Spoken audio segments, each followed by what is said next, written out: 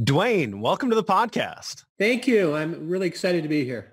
Hey, it's exciting to have you. Uh, I've had the opportunity to dive into your book, and you just have such a wide range of life experiences to share with our audience. And you're in that age group. You're in what I call job optional, but you continue to work because you love what you do. And so we're going to get into purpose. We're going to get into some health habits. We're going to talk about some of your books, and uh, I can't wait to get into some of those things. But you've got such an interesting background. I want to make sure we get there first, and I wanted to kick kick it off with something that I've seen in a lot of different areas. And doing my research on you, Dwayne, potato soup seems to come up a lot. Mm-hmm. And could you just, I, I, think to you, potato soup means something a little bit different than it does to the average American. Yeah, well, it, this was an incident that occurred, um, geez, many years ago, probably 45 years ago when I was in high school. Uh, my, I, I was raised by a single mom, kind of a poor working family. I was the youngest of four children. I was kind of a juvenile delinquent, to be honest with you. And my mom took me out of public schools, moved me 100 miles to a private Catholic school and started, had to retake my sophomore year over because my first sophomore year, I decided it was more for racing cars and dating girls than it was for school. And so I uh, started my life over in this small uh, Catholic school in, in, a town called Walla Walla. It's now more famous for its wine than anything else.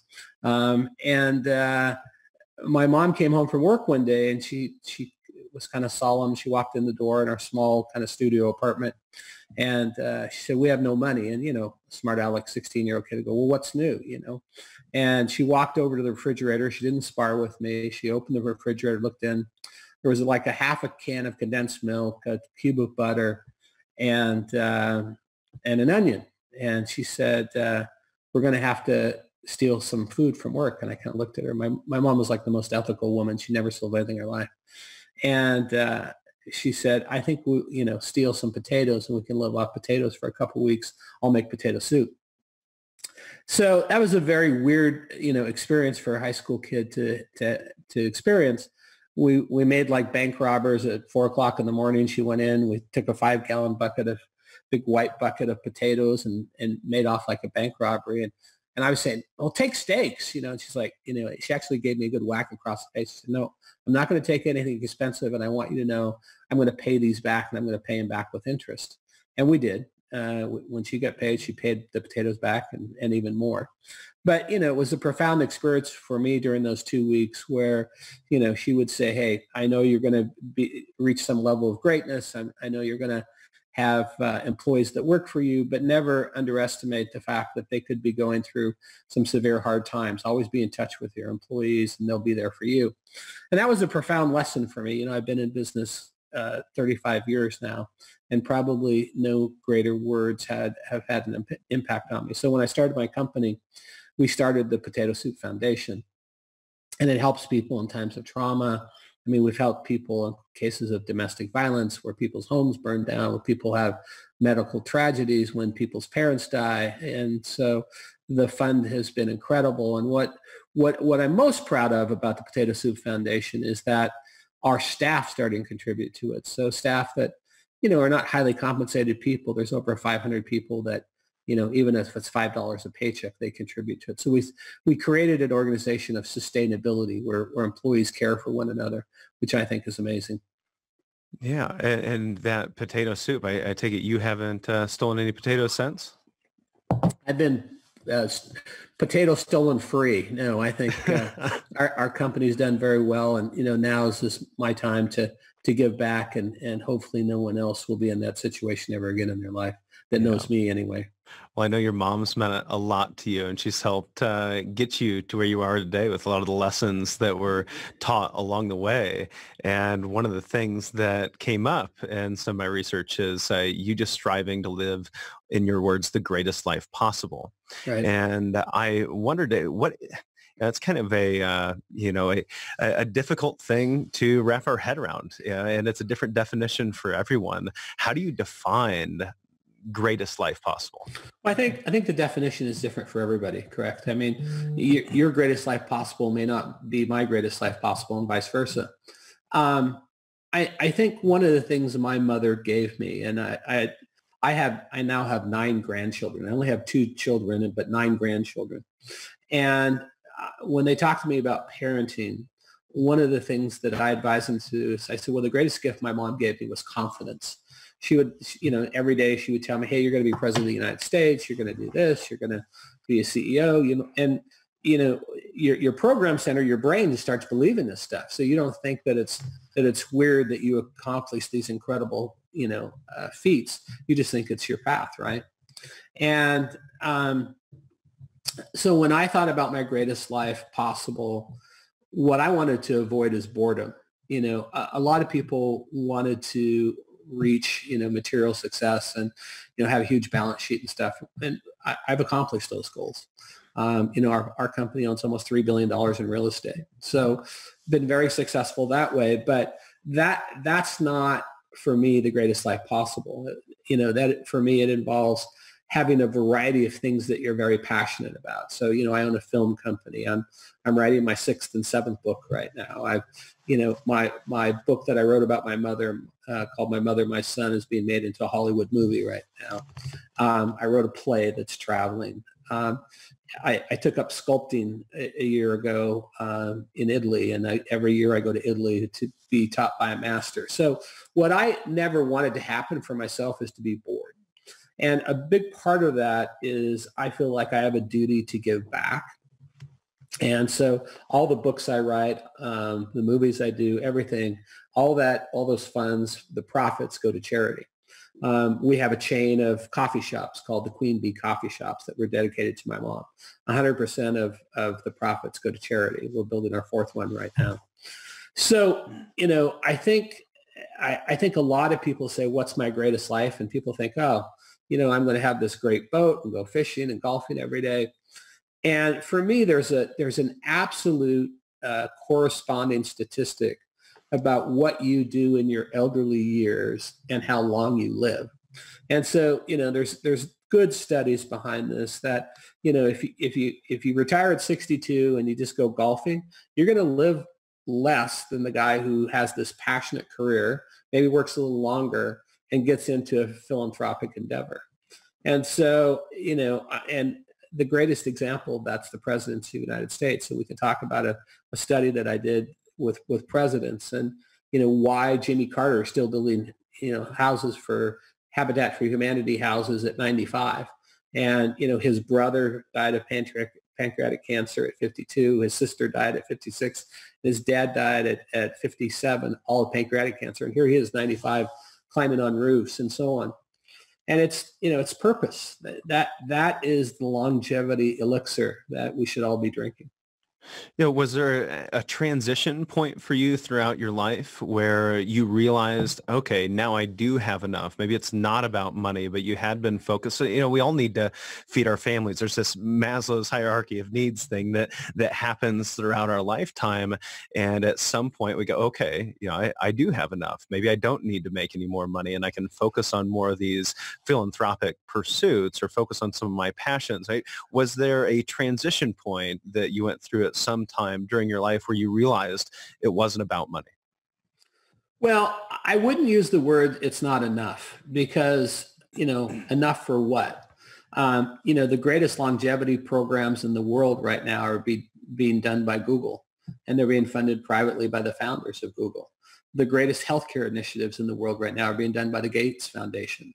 You know, so enough for what? I mean, and, and, I don't want to wax political here, but you know, when we say you know billion, there should be no billionaires in the world.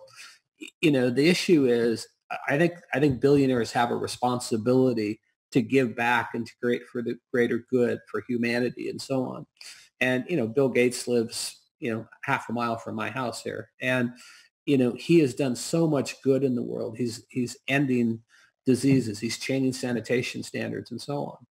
And you know, people like that, um, they're they're incredible. And you know, he's not driving around and you know buying six new cars every week. And and you know, he's a guy that really is has the greater good at, at heart. So I don't I don't cap my potential um, either in terms of my intelligence, my net worth, my my passion. Um, I think but I think there's a responsibility that we have. And I think a lot of that comes with parenting, right? I mean, my mom, you know, talked about uh, philanthropic uh, ventures a lot. We, did, we didn't have a lot of money, so we didn't, but she would give to the church. She would do things like that. But I think it's incumbent if you do well, and you, you have to understand if you do well financially, you're not the only one that did it. You know, the, the, your friends, your family, your employees, your vendors, your, your customers, all these people it helps you get there, you have a debt to them. And that, that's the way I view my life. And, and, um, you know, I think, I think that's how you have purpose in life. Hmm. Well, I think there's a lot to be said about all the things that you went through there, and one being, you know, living your greatest life possible. You know, living within your purpose. That's the purpose itself might mean something different to everyone, but I have seen time and time again that the biggest uh, downfall for retirees is boredom. Yeah, and that is not isolated to just one individual. That's not a unique, you know, thing. Everyone needs to make sure they have a lot of ponies on the track, if you will. They've got a lot of different things that they're involved in that keep them excited. And for some, you know, maybe that's golf, but let's make sure it's not just golf. There's other things and passions that you're involved in. And one of those things for you is the uh, assisted living facilities that you've built uh, through Aegis. Yeah. And can you talk a little bit about Aegis and why you founded sure. that company, why you uh, really focus so much time on those efforts?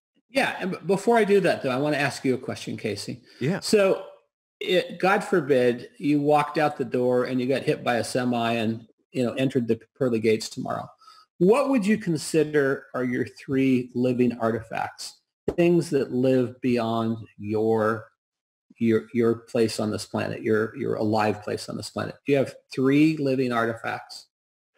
When you we say I, art, I, am going to go with my children and right. my business and uh, right. and then maybe this is too high level, but I'd say all of those families that I've touched personally throughout the years. Yeah, excellent. So one of the concepts I'm trying to get through to people is to think more about your living artifacts, right? And I say living because you create them when you're alive. So my my social worthy documentaries are a living artifact for me. My books are a living artifact for me. My plays, living artifact for me. The buildings I build are living artifacts for me. The, the business that I built is a living artifact. The employees that I've affected, the, the sculptures that I've created. And so what, what I think around this topic of purpose is, is you have to, we're, we're all in the spinning ball for a very short period of time. And you don't know if it's 40 years or, you know, 110 years. You don't, we don't know. So we should spend a lot more time thinking about, you know, how do I make my my own place in this world? How do I make a sustainable place in this world with my living artifact that's going to affect humanity in a positive way? And I don't think I, I, think people think about making money. I think they think about buying a house. I think they think about being a good parents. But I don't think we think about our own personal living artifacts, which I think is huge. And when we say artifacts, is that uh, are, are these items? Are these physical things we can touch? Could this be humans as well? Sure, uh, it makes absolutely. me also think along the lines of what we've made our BHAG, you know, our big right. hairy goal over here right. at Howard Bailey is to become uh, a, a, company that continues to make a positive impact in the lives of our clients, our employees, and our communities into right. the next hundred years. So, and that that could be an artifact. But then you've also got the books, you've got the TV shows, the podcasts. The only thing I would say about that, Casey, is I, I think to be a living artifact, it has to be measurable and, and it, it can't be too squishy, right? So, and it's got to be something outside of the norm. I, like, you know, I think being a father and a grandfather is an incredible artifact. But I think it's, I think it's the expectation, right? It's not, it's not, it's not a BHAG. And so I think, I think in terms of creating, you know, whatever. I, hey, I built this phenomenal building. This person had a incredible sense of they they they developed this song. You know, they did this movie. Whatever it is, um, those become the living artifacts of our of our culture and community. And what what is helpful then is then when you leave this planet, um, the place is a better place you know than when you entered the world because you you created these things and i think we would be better as a society as a country as a as a, as a race if we thought this way. And that that then starts to define purpose, right? Because you go, well, what are the things I'm passionate about that could be a living artifact. And I think I think we get caught in this rut of boredom. You know, I'm, I'm going to go heli skiing. I'm going to go golfing. I'm going to go fly fishing. I'm, you know, and you know, you retire at 62 and you do those things for 15, 20 years, and you're like, yeah, this is my life. I, I think if you really want to have incredible longevity and purpose, you got to step outside those lines of comfort. And that's, you know, in my conversations, I spent three days with Bill Clinton about three weeks ago and did an interview with him and had lunch and dinner with him. And, you know, here he, he, he said, Dwayne, no one in my family's ever lived as long as I have. He's 72. He's, he said, no man has ever lived as long as I am. So they have, you know, heart problems and other issues and so on. And he said the reason that we're living as long as we are is one reason. It's purpose. You know, I mean that that guy needs very little sleep, which I don't agree with because I think sleep is foundational. But his memory is is super. I mean, his memory is ten times better than mine. And uh, you know, he he could talk for three hours about the most interesting things in the world. And he's flying around the world speaking and meeting people and involved in international events. And the Clinton Foundation's doing great things. Jimmy Carter, the same thing. He's 95. Now, here's an interesting factoid for your listeners. If you look at the average vice presidents who have never, not become presidents, they're living about 15 years less than presidents. And you would say, huh, what's the deal there? We as human beings need to get to get acknowledged and recognized for our accomplishments. And the vice presidents have a stigma that they're never fully recognized that you know they were they were second fiddle they were always under the the shadow of the president or whatever. And they're living 15 years less than the presidents. So on on average uh, you know that's a that's a pretty significant uh, difference well, if I'm a VP and I'm listening to this right now, if I'm Mike Pence, I'm going to be a little concerned. I'm going to go, well, okay, Dwayne, I get it, but you know, what can I do about it? You know, what are the things that we can do as a VP or just like just an average, ordinary, in everyday individual that's you know retiring from a factory job, stepping into retirement, going, hey, you know, I I want to have longevity. I want to live as long as the presidents, but I'm never going to get that level of recognition. What can we do? I think I think that's where it comes into what is bubbles up inside you in terms of your passion, right? Doesn't mean you have to be president of the United States, but it, it does mean that you know you have to find this defined purpose beyond work. Most people's job is not their passion, it's not their purpose, right? They they have that job because it has benefits, it pays the rent, the mortgage, whatever, but it's not their passion. They're not living their passion. And so you have to really sit down with yourself and say, hey, what am I passionate about? Um, you know, maybe I'm going to go rock crack babies in the hospital because it just is so incredibly powerful for me. You know, I've, I've interviewed, I don't know how many centurions and above, um, and all these people do something. You know, I mean, I mean, not again, not their typical, you know, gardening and so on, but they have some purpose uh, that they go to. I, I, interviewed, I think he was 97 years old, and he he was a shot putter, and he wanted to go, and every day he got up, rain or shine, and he just wanted to put the shot an eighth of an inch further than he did the day before. You know, he was 97 years old. Didn't matter if it was snowing outside. That was my goal. That was that was what kept him alive. I interviewed a, a eight, I think he was 88 year old sprinter, and he just won a tenth of a second off his time. Didn't matter, you know, what the weather was. He was he was out there practicing training.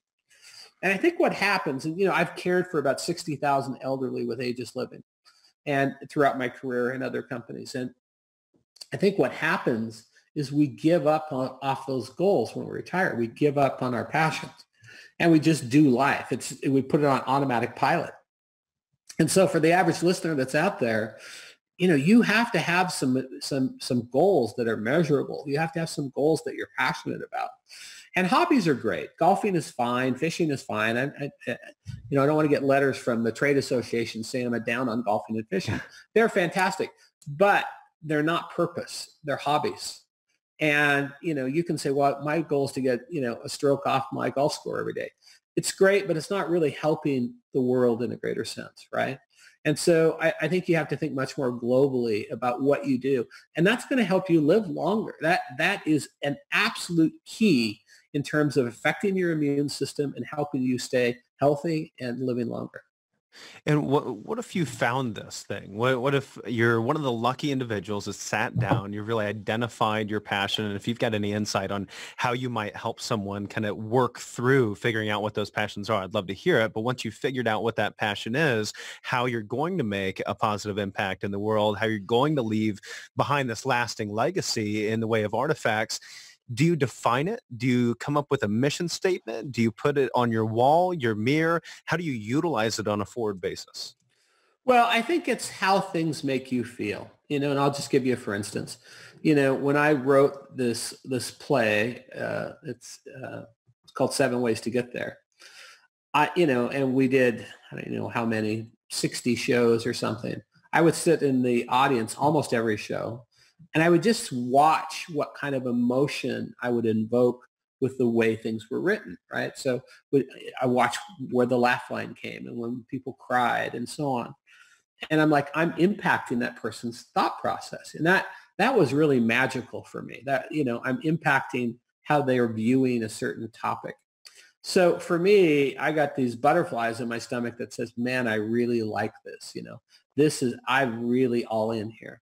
The same with making a documentary. You know, I've, I've made six now and they're all kind of social worthy films. I've made ones on immigration. I made one on, on a Hall of Fame basketball player. I'm making one now on a, on an NFL football player. I made one on a, um, Af- a women's Afghan cycling team. Um, you know, I've, I've made one on 80 to 100 year old tennis players called gold balls. Uh, made one on a Holocaust survivor called Big Sonia. And when I watch these movies and and the impact it has on people, you know, it's uh, it's moving these people in a profound way, and that that stimulates me and passion. I, I get passionate about it. So it may be somebody saying, "Hey, you know, I used to play the saxophone when I was in my teens. Maybe I'm gonna maybe I just take up the saxophone and and start my own band and go out and play for fun." You know, it's that it's that butterfly in the tummy feeling that oh my god this is really lights me up.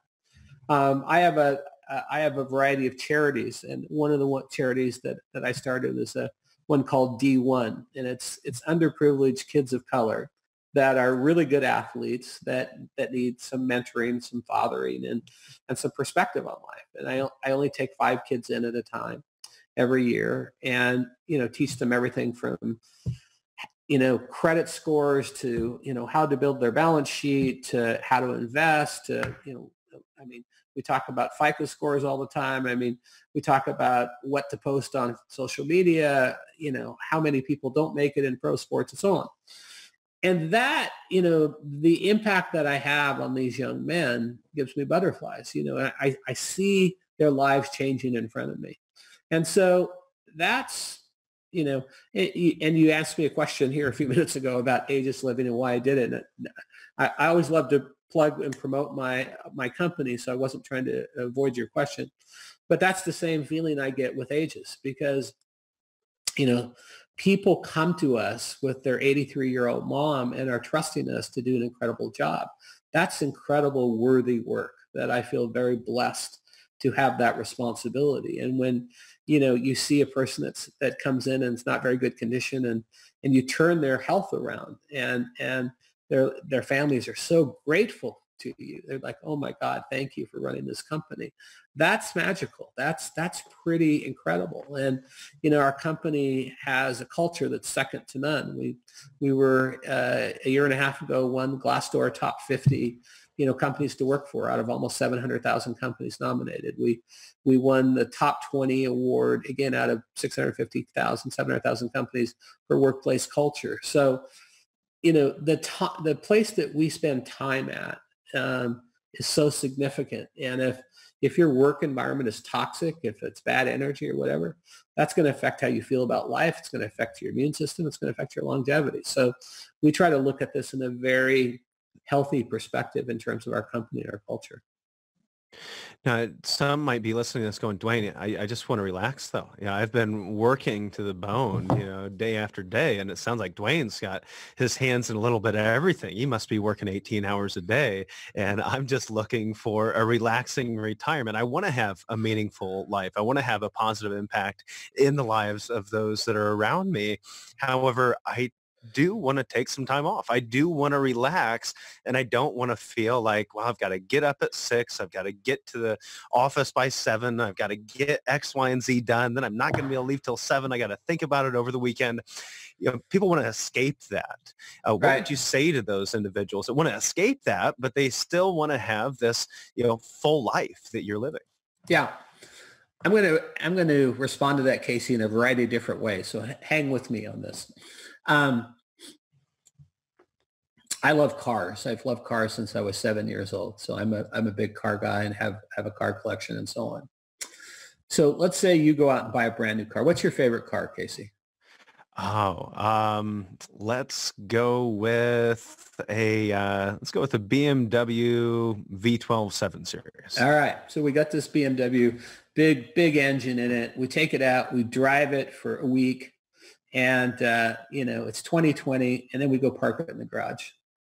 We say, yeah, kind of bored with that. You know, I think I think I'm into the new Mercedes uh, hybrid now, and I'm just going to leave it in the garage and you come back in five years and start that car up, it's well rested, right? You, you've you've let it lay in the couch in the garage, so to speak, and ah, well, the tires are flat, the battery's dead, the belts are corroded, the you know the the battery's overflowing with battery acid, the you know everything doesn't work on it.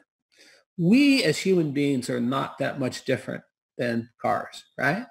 So you know the expression is sitting is the new cancer, right? the the fact is our bodies are meant to move. We're meant to move.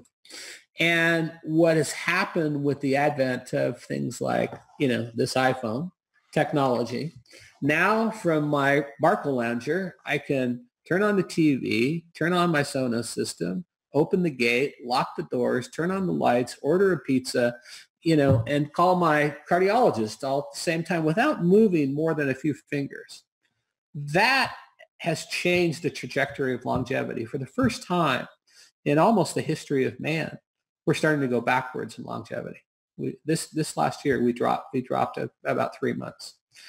That is significant, and that's a trend that's going to continue to go backwards unless we start realizing our bodies, just like that car, just like that BMW, are meant to move. Now, you don't have to be you don't have to go out and run a race. Hey, if you can get eight to ten thousand steps in every day, you're going to be fine because that's going to you know, ward off you know all the all the bad things. But your bodies are meant to move. The second thing, the second way I would answer your question is one of the most important things for me is what I call the morning flow. Okay. And think about, you know, I, I know you you did your CrossFit this morning, but think about how much time we spend on our morning flow. And let me give you an example of my morning flow when I wake up in the morning, the first thing I do is I drink about 12 ounces of room temperature water that's on my nightstand. Now, during the night, your body has secreted anywhere from 12 to 20 ounces of fluid. But what do most Americans do? They get out of bed, they go to the bathroom, they head right for the coffee pot.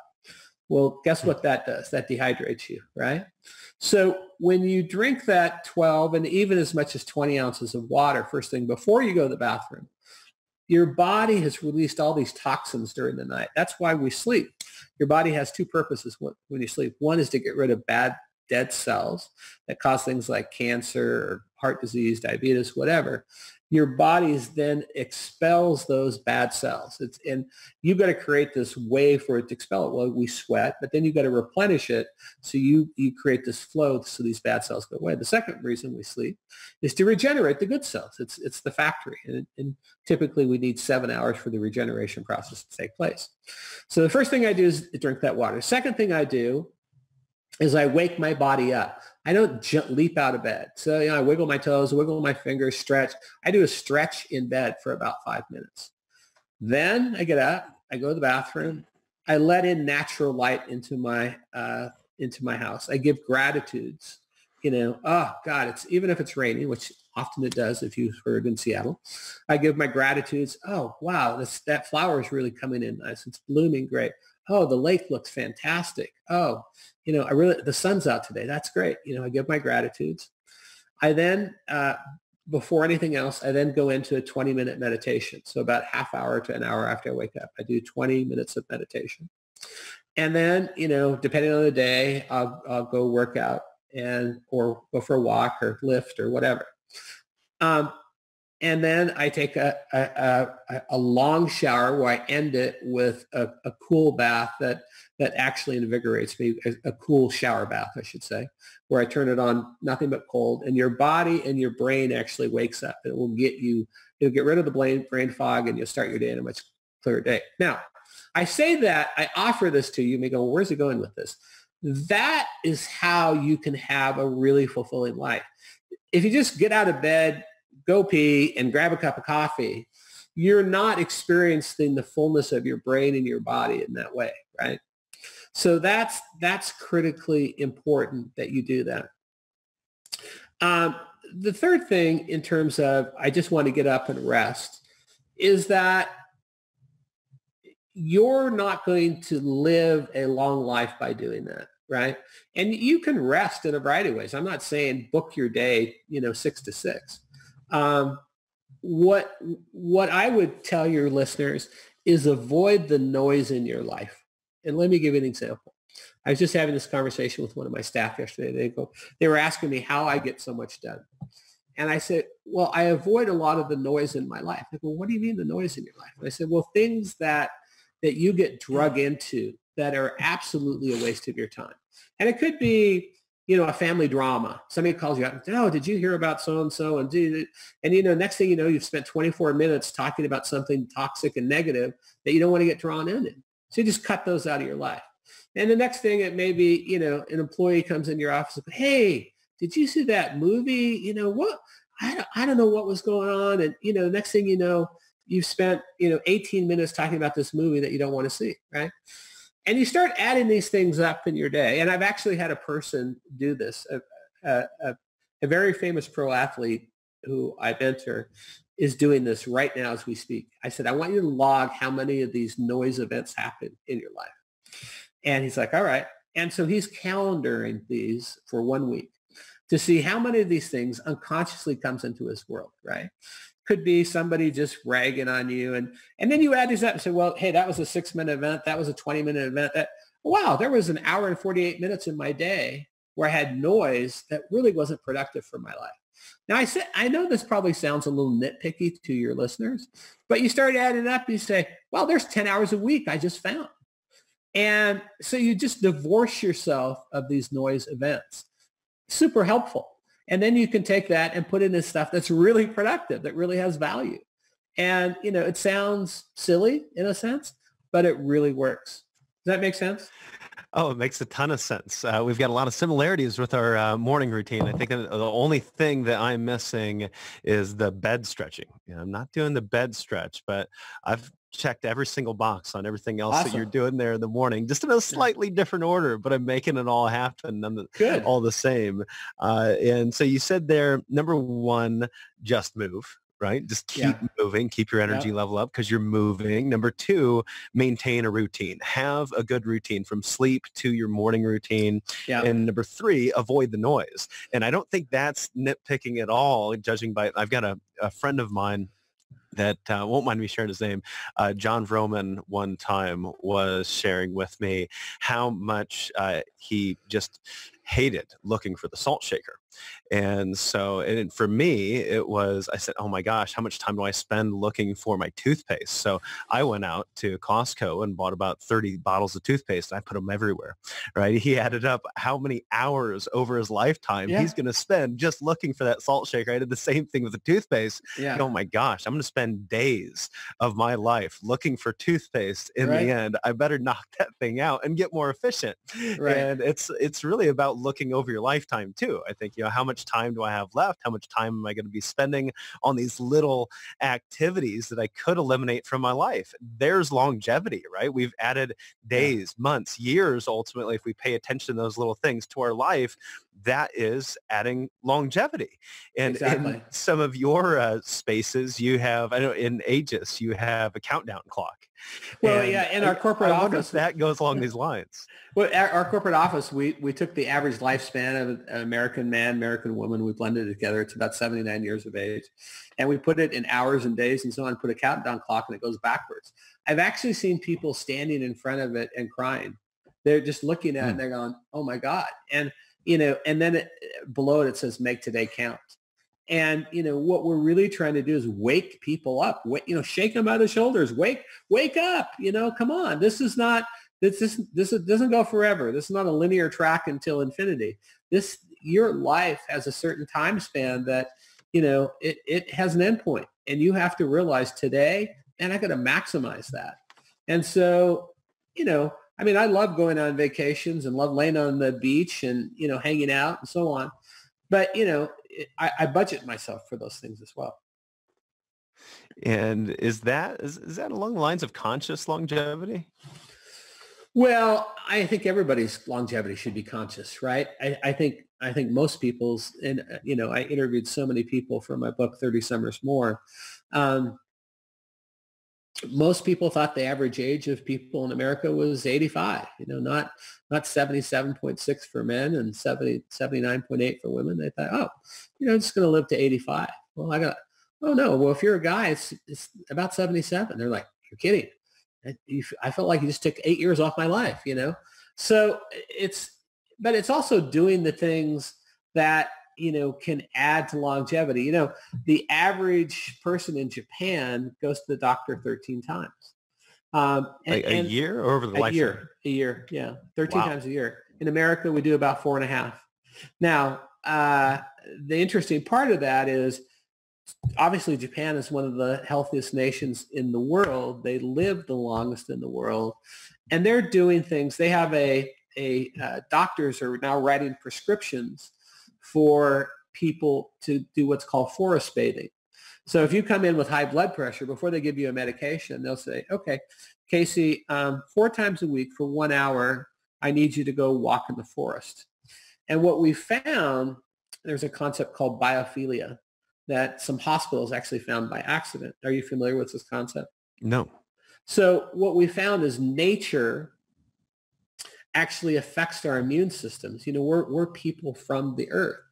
And when we're out in nature, um, it has a positive effect that's a calming effect. It oxygenates our bodies, helps our cells, and it ups our immune system. And so there was an experiment done in, in a hospital. I, I apologize, I can't remember the name of it, but it was done by accident. They had two, two uh, uh, rooms that were post-op rooms. One faced a garden and one faced a brick wall. And they found continuously the, the people that came out of surgery that faced the garden were healing twice as fast as the people that went into the brick wall room. Hmm. And I thought, wow, that's what a coincidence. Well, it wasn't a coincidence. It was biophilia, which is really the, the life of living things, right? And so what, what they found is that, you know, I'm looking out, I have a garden off this room that I'm in right now. And, you know, it is incredibly empowering to look at this. There's also this whole movement now called earthing. I don't know if you've heard of that, where um, you know people are actually walking even in the wintertime barefoot out Grounding. on the grass and earth. Yeah, they're grounding themselves, yeah. right? And you know, if you think about what happened in the '60s, uh, we got away from being more in nature. What happened in the 60s? We started building skyscrapers, you know. I mean, the 60s is here in Seattle, we built the Space Needle and had a dining room on top. You know, everybody was wanted to dine in the clouds. The other thing, I, you know, I'm a lot older than you, but when I was in the 60s and I was a little boy, we used to have these tennis shoes called PF Flyers. And, you know, you could run high. They were rubber, big, thick soles, and you could run fast and jump high. Well, in the 60s is when we started creating these synthetic you know soles with rubber and so on took a, took us further off the earth right? And then we developed things like thick pile shag carpeting and everything. We got further and further and further away from nature and natural products. And so now the theory is well we're getting further and further away from our natural elements as human beings and that's having an effect on our health and our longevity. And there's there's a, actually a very good earthing documentary out right now that where they're showing it's it's changing diseases and everything else. So. You don't by any chance know the name of that? If not, uh, we'll look I, it up I, I and we'll put it in the show notes. I think if you Google earthing documentary, you'll you'll find it. So okay. uh, yeah, I've been really interested uh, interested in the whole grounding uh, piece. Uh, I've got the kids running outside and they're barefoot, yeah. you know, in the winter, and I'll, I'll, get home and say, "All right, guys, let's go outside and walk around barefoot for a while." Yeah, yeah. You're talking about longevity. You're talking about hey, 75, 85 years old, um, and then you've got this countdown clock and you know, I wonder what your thoughts are. You know, I, I don't know if you know who Dan Sullivan is of Strategic Coach. Uh, it's a business coaching group that I attend uh, every quarter, and you know, Dan is one of those who believes he's going to live to 156 years old, mm-hmm. and he's currently 75. Uh, there are uh, other individuals that are in this group that are in the longevity field, uh, in um, the uh, bio- biology field and research field, and they believe they're going to live into their 150, 170s. Uh, do you uh, think feel like there's any validity to those types of claims? Well, uh, given that we're going backwards. Yeah, let me answer it in a variety of ways. Um, is it possible to live to 170? Probably not. Um, I, I, think if you lived in a perfect environment, you could probably live to 120, 130. But the reality is we don't live in a perfect environment. Let's let's say you you eat the best foods and everything else. Well, even even the best foods are polluted. Um, you know, I, I went on an all fish diet. Uh, you know, I was going to give up meat and I just ate fish and I did it for three months. My mercury counts went through the roof. Right. Tuna and, and swordfish. Well, I, I wasn't eating high mercury fish. Huh. I was I was eating fresh salmon and and sole and halibut, everything else. The problem was our waters are so polluted and the things were flushing into our waters that they they had immense mercury and lead. So I wasn't I wasn't eating high mercury fish. And so my doctor said, stop eating fish for two weeks and see what happens. I stopped and my, my mercury count went right back to normal. So even if you think you're doing absolutely the greatest things, the environment is ruining our bodies, right? So, you know, it starts with food, you know, extends to your dry cleaner, uh, the air you breathe, I mean, the water you drink, everything. And, you know, I'm very picky, you know, I drink oxygenated water, I drink Essentia. Um, I, you know, have all organic food. I mean, I do all those things. Do I think I'm going to live to uh, even 100? I don't. I think I can live to 93. In fact, on my vision board, I have a big 93 in the middle of it. And that, you know, that's that's where I'm going. Now, here's the thing about your friends with wanting to live. I think your brain, again, is part of that huge programming center. So if you say I'm going to live to 150, well, you may live to 100 and, you know, you, you're, you're fine.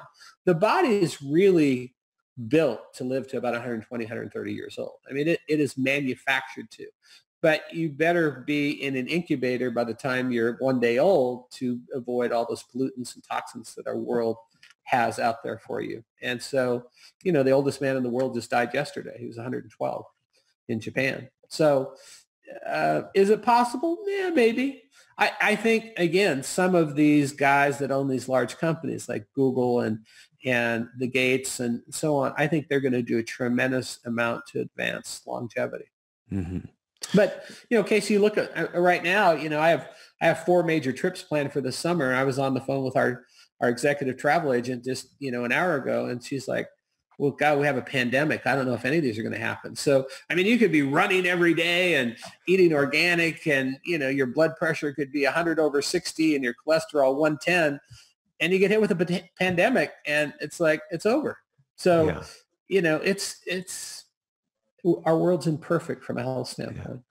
Well, we should be focusing on our purpose every day, if yeah, that's the that's case. Right. you yeah. know, however, we we still want to live a long life, and so I'm curious. Know, we talked about you struggling with uh, eating fish. All of a sudden, you can't eat fish. You know, fish are supposed to be what's what's good for you, right? And maybe there's research out there saying the same thing about vegetables. I don't know, um, right. um, but it seems like everything could be really good or really bad for you the next day. And so, what does uh, your your dining regimen look like? What does your diet look like overall? Maybe you want to throw in there a little bit about supplements as well. Well, I, I think everybody's different, right? I, I don't know if you've got into any of the blood type eating and so on.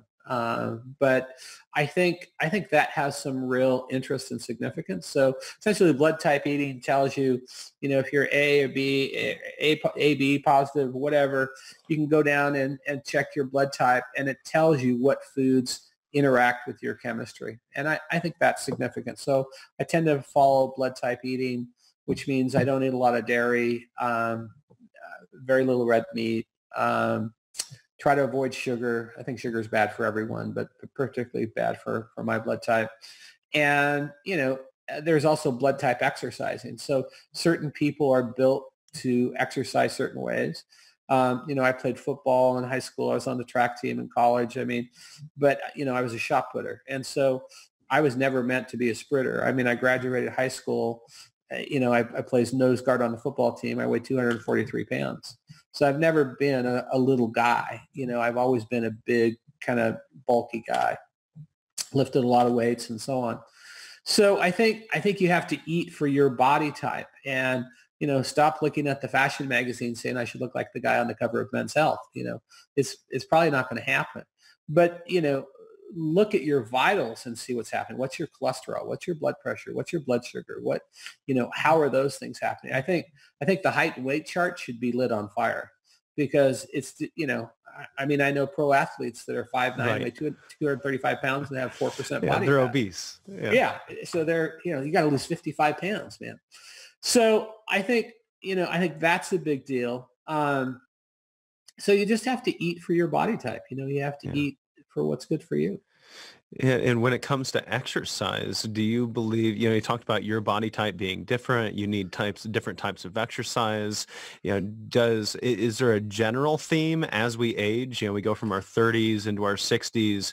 Should we be exercising differently in our 60s than our 30s? Absolutely. Uh, what, what Absolutely. should that look like? How should that evolve? And what if you've never exercised before? Where do you even yeah. start? Well, first of all, I hate the word exercise because it has a negative connotation, right? I have to go exercise. And, you know, I live in, in Europe two to three months a year. You never hear people talk about exercise. In fact, it's very hard to find a gym. But what you see everywhere is people riding their bikes, people playing soccer in the parks, people walking, people climbing stairs. You see this everywhere. And they're much, eh, eh, much healthier than we are. They live they live in Italy two years longer than Americans. So you look at that and you say, okay, well, maybe we got it all wrong. You know, maybe we shouldn't be in the gym. Maybe we should just go walk for an hour and a half every day. And, you know, I used to lift very heavy. I mean, even into my 40s, I was bench pressing over 300 pounds. And, you know, now, uh, and I thought, well, you know, that was the thing. I'm going to have a big chest, big biceps, you know, it was playing to my ego well, now I have shoulder problems. You know, I have elbow problems because I lift I lifted too heavy at the wrong age. Now I, I use uh, bands. I use uh, you know very light weights, do more reps. I, I hung out with Sylvester Stallone a year ago and was interviewing him about his uh, exercise regimen. He goes, I don't lift weights anymore. I, I do Pilates. I use bands. Um, I do yoga. So the older we get, the more flexibility we need. And the big, big thing, Casey, the big thing, and this this is something I'm hugely passionate about, is balance. Because you know what the number one way that people die in when they get old is is they fall. They fall, they break a hip, they go in the hospital, they're on their back for 30 days, they get pneumonia, and they die of respiratory failure. So if you look at how people die, they like, oh, they died of respiratory failure. Well, that's terrific, but it's not really truthful. What they died of is poor balance because they tripped or they got, you know, they just lost, got dizzy and fell. Mm-hmm. That's why drinking water when you get elderly is so incredibly important because a lot of people don't drink enough, consume enough water. That the 80 some generation consumed a lot of coffee again dehydrates your body makes you dizzy and you know it, it, caffeinates you so they feel good they feel energized. But drinking water is one of the most powerful things you do and then doing balance exercises. You know when you're brushing your teeth stand on one foot for 60 seconds. When you're watching tv and the commercial comes on try to stand on one foot for three minutes while the commercial's on. Do that. Program your brain to balance and you know you'll you'll be glad you did well, I could probably stay on this topic with you. I know I could on health for a long time, yeah. but I, I, I got to get into, you know, with nine grandkids, uh, yeah. I just really want to get into that. We've got a lot of grandparents listening, and you've written a couple books uh, for children uh, and maybe even for your grandchildren here. Uh, and so I want to get into that. I think there's a lot of wisdom in those things. And one is uh, Saturdays with Gigi, um, and that is a children's book on dealing with grandparents with Alzheimer's. Right. Uh, why did you decide that that was a book that needed to be written? Well, I think I think there's a lot of fear from little kids about Alzheimer's, and you know, all of a sudden your grandmother, your great grandmother starts acting different, and you don't understand it, and and you know, it's difficult for a parent to explain. Well, she has a a brain disease that affecting her emotions and her, you know, the way she talks to people and so on and so forth. So, you know, I wrote a book. Uh, Gigi was what my uh, my kids called my um, uh, my mother, a great grandmother, and so they would call her Gigi. And so I put my mom as a character in the book and and tried to explain what was going on in the process of, of, of Alzheimer's. And again, I think it's a great book to kind of say, hey, this is this is still a person you love, but they're going through a little disease problem that may make them act a little different now. And the book kind of goes into how some of those patterns typically manifest. So that was the first book I wrote, and then well, and what what can parents learn from that? You know, as a parent or as a grandparent. I mean, you right. you know your mind's failing. Maybe you've had this diagnosis. What do you think you should be doing at that moment in communicating to your children and grandchildren? Well, one of the things I often see because I'm I, we deal with this problem all the time with our with Aegis Living, but you know, one of the things that parents will try to do is is keep the children or grandchildren away that's the worst thing you can do because they're fearful that they may say something inappropriate and will shock the kids or whatever. And one of the things the parents can do is you got to educate your kid. This is part of life. You know, I, I, mean, we used to do the same thing with Down syndrome's kids 50 years ago, you know, and say, oh, those are different and call them names and so on. The, the key to success here is this integration about how we communicate and educate our children that this, these are still part of our family, still part of our, our neighborhood, our community, are part of our love, uh, our loved ones. But here's what's happening with them now, and that's going to make your kids smarter. And you can do that even at the age of five years old. You can tell them. You're not going. You're not going to give you know. Uh, sophisticated scientific terms to them. You're not going to say, "Oh, your grandmother's experiencing Lewy bodies disease today." You know, you're going to you're going to talk to them about, "Hey, she's a little confused right now and here's what's happening and it's okay you can still love grandma and so on. So i think i think education and that's what the book strives to do is educate and be used as a teaching tool for for parents to help their kids well, there's also some benefits there for those that might be uh, suffering from Alzheimer's. Uh, and uh, you wrote in your book that you should have friends that are 20 years younger than yourself. Well, right. having making sure you continue to bring those kids and grandkids around uh, grandma could lead to a better life. And I'm sure you've seen that in Aegis.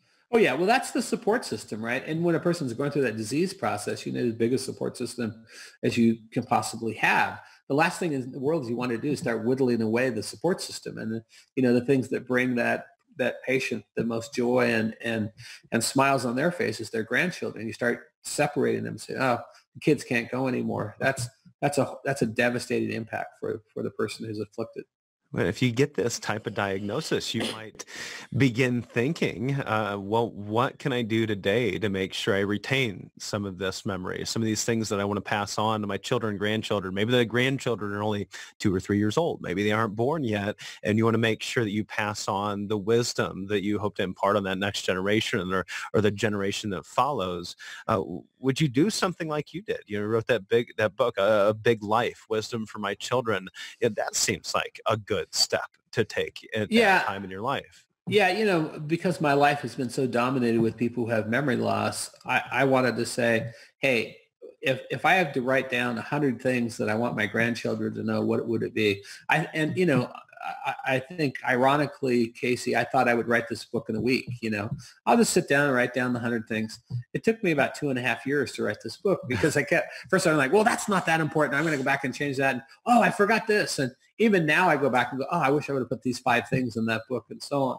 And so, you know, so I wrote this book called The Big Life, and I was just, it was just originally meant for my gra- grandchildren. It's just going to be circulated in my family and I showed it to a few of my friends, and it became so popular that people said, "Well, I want I want to give that to my children or my grandchildren. I I want to show them what we what did how, how our family does it.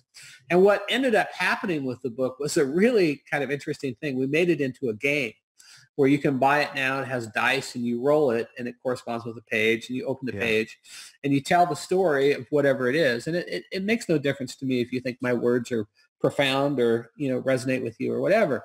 What happened is that it created a storytelling uh, stimuli. And so now families open up and they'll say, oh, you know, always buy the dirt, not the curtains. That's one of the expressions in there. And it's about buying a home. You know, and it's like, hey, really focus on the location, not the prettiness inside. And so uh, now people will say, well, God, I remember when my grandmother bought this house and now it's been in our family for, you know, and she wanted a house down the street and grandpa said, no, this is a great location. And so, so I get now uh, what is really fulfilling. This goes back to our living our artifact conversation. I get these emails or texts or phone calls or whatever. They're like, I found out about this about my husband's family and I've been married to him 25 years and I never knew this existed. So it's bringing up all the storytelling. And now people take the book on vacation, they take it to the beach, they take it on road trips, they, you know, and, and they're creating this dialogue with their children that they would have never had had the, had the book not stimulated this conversation. And that's, that's been really, a, a big life has really changed a lot of people's relationship with their own family because of that. Now, if you could just impart one piece of wisdom onto your children or grandchildren, what would that be? Oh man, you're putting me on the spot. Um, I, I just I would just say be kind. You know, be kind. You know that I, I think you know that that can serve everybody well. Just be kind to other people, and uh, you know that's not it's it's harder sometimes than that sounds, but just be kind to people. Yeah. That's good. That's great. Uh, let, if you, if I may, as we wrap up with a couple minutes left, maybe sure. I can just uh, get into a couple uh, general, little uh, more philosophical questions. Um, and this this has all been philosophical. I, I was going to say it really has been. Um, but you know, I you you've just you've met so so many people. Um, you've had, I think it's it's probably more than this now, but over sixty thousand residents um, through Aegis and the yeah. assisted living facilities, and um, you've gotten to spend some really quality time with a lot of your guests. Yeah. And I I wonder, you know, do one of those residents stand out to you? What's the biggest lesson that you've learned from one of your residents?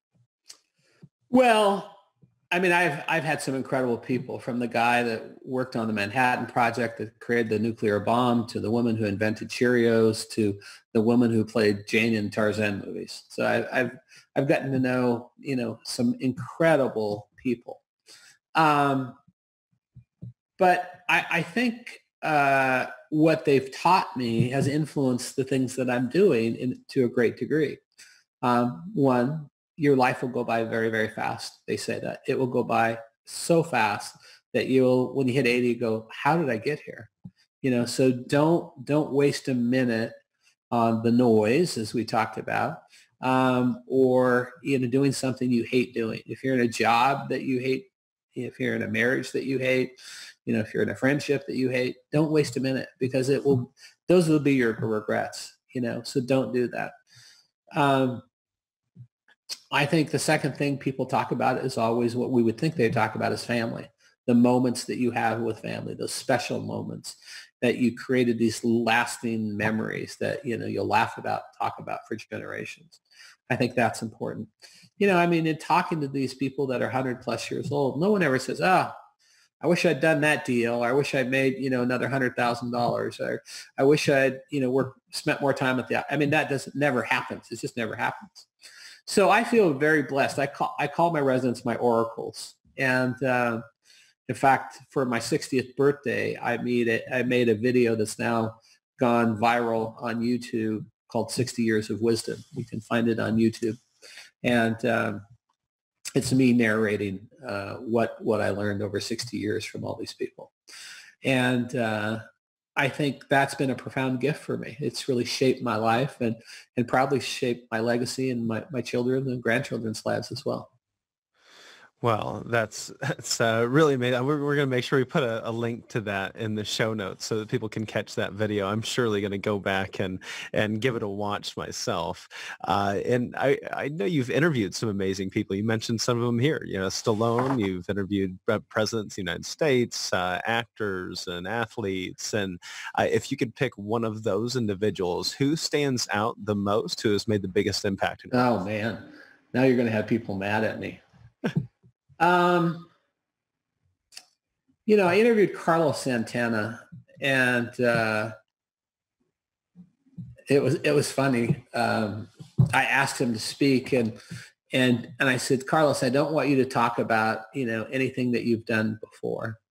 Um, I don't want you to speak about anything. I want I want you to be vulnerable on stage. And I, I tend to tell a lot of people that because, you know, like you, Casey, I don't want a canned presentation.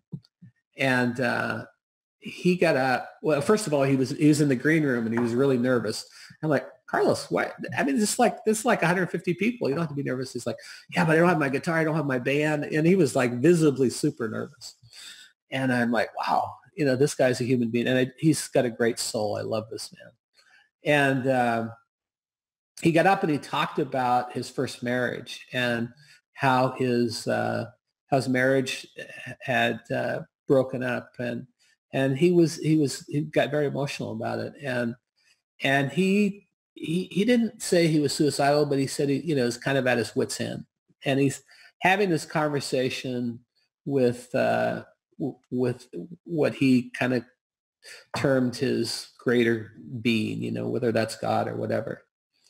And he said you know i was ready to just my life to be over. And and he said i had this conversation. And he said I need you to let go of the past with the one hand that's holding on to it because your future is going to be so heavy.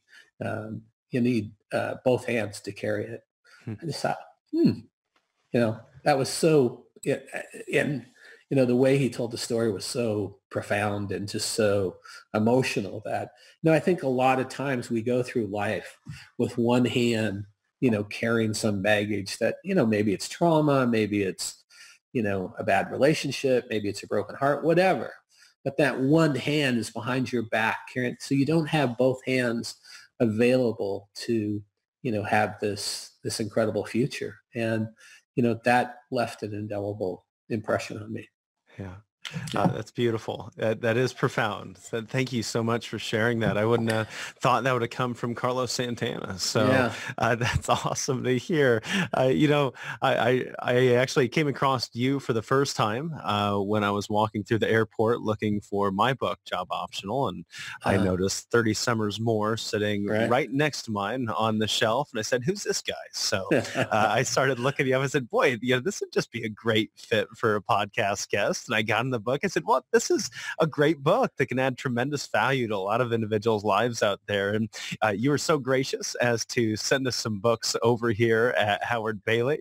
And sure. we are going to give those away. So if you're listening, you want a copy of 30 Summers More, all you have to do to get that copy of the book is write a review for the podcast. You can do that right on your podcast app. Scroll down to the bottom, leave a review there, or you can go to retirewithpurpose.com, click on the podcast tab. It says right there on the top, it says leave your leave a review. Leave a review on iTunes, an honest review, and send us an email at info at howardbailey.com. That's info at howardbailey.com your screen name and we will send you out a copy at no cost no obligation of 30 summers more from us and from dwayne here to your doorstep so uh, we hope you take advantage of that i know dwayne does as well dwayne uh, anything else that you would like to mention uh, where people can connect with you or anything that maybe we missed that you want to hit on before we wrap no, up? I, I have a website. It's uh, Dwayne, D-W-A-Y-N-E, J. Clark. And so you can find out about where in the world I'm at and what I'm doing and projects and so on that I'm, that I'm around. And, you know, follow me on Instagram at Dwayne J. Clark. Um, and, uh, you know, I, I tend to do videos and podcasts. And uh, I have a podcast called Walk This Way. And I have another one called Wellness Warriors. So Walk This Way is more business oriented and Wellness Warriors is, is health oriented. So Awesome. Well, Dwayne, I know you're a bit of a pool shark as well, so hopefully we'll get a chance to uh, play a little pool uh, at some point, some point in the future. Thank you for joining us. All right, Casey. Thank you so much. I appreciate it. Dwayne, that's a wrap. Was that okay? Oh, it was fantastic. Yeah, good. I really appreciated it. Thank you good. so much for making the time to do this. I, I hope it was good for you. Oh, it was fun. It was lots of fun. Good. And you you work with Charlie as well, huh? Yeah, we started working with Charlie uh, about a year and a half ago. Okay. So, and we are uh, wrapping up on our contract now. Um, and I don't, you know, we'll probably take a little hiatus before I uh, finish up the next book for 2021, sir, 2022. What's your next book? Uh, well, we never have a title until it's written, right? right. But uh, you know, it's still kind of early on in uh, the stages of development. It's more in my head than anywhere else right now. But right. Uh, still trying to work on this job optional campaign. Sure. But the thought is um, it's going to be more purpose based, right? So we're mm. really going to uh, have the book focus in on uh, how to identify purpose, create purpose in your life, and ultimately develop more meaning uh, through the use of tools and stories and uh, just the process uh, that we utilize uh, for the families we work with. So it's going to take a little bit of a development, but we're going to get there soon if you ever need another resource, I have a good friend who's a CEO that wrote a book on purpose and work. Um, his dad was a New York congressman. His name's Randy Ottinger, Randy Joe Ottinger. And I'm trying to remember what his book was, uh, but it was something on purpose. Great. Uh, yeah. Yeah. I'd love so to make good. that connection. Yeah. Just reach oh. out. Okay. All right, Casey. Thanks a bunch. Hey, thank you Have so much. Have a great day. Appreciate yeah, it. You too. Appreciate right. it. Take care. Take care. Bye-bye. Bye. Thank you.